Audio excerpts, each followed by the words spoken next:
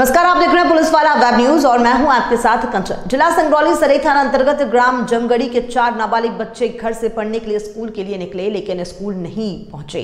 जो अगरिया जाति के बताए जा रहे हैं, उनके परिजन परिजनों का काम पूरा दिन मजदूरी है, जो मजदूरी करने दूर दराज गाँवों में चले गए थे। मजदूरी ही उनके परिवार के भरण पोषण का एकमात्र सहारा है। दो टाइम की गुजर बसर करने के लिए मजदूरी करते हैं। जब शाम को मजदूरी करके लौटे तो अपने बच्चों को घर में न पाकर उनकी खोज खबर करने लगे।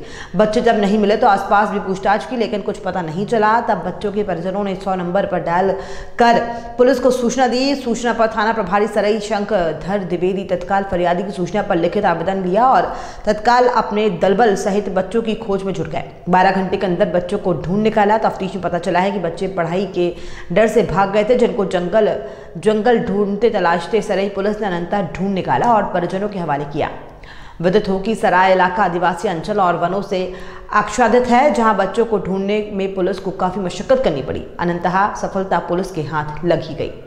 सिंगरौली पुलिस कप्तान अभिजीत रंजन ने घटनाक्रम का खुलासा करते हुए बताया कि इस मामले में सट्टा रिपीट इस मामले में सरई टीआई शंकधर द्विवेदी के नेतृत्व में गठित पुलिस टीम द्वारा स्थानीय निवासी हरिनारायण गुर्जर जो बच्चों को रात में शरण दी थी, उनके इस नेक कार्य को देखते हुए और बच्चों को ढूँढने में सहयोग के लिए हरिनारायण को एसपी ने सम्मानित भी किया है।